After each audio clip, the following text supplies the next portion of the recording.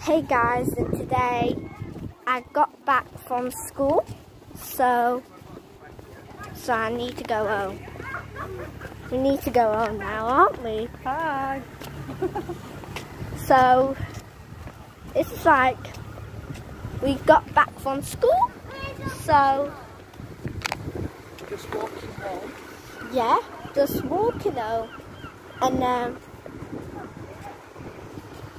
I'm just really sorry. I just talked about that yesterday. I wanted to go out, and I love going out.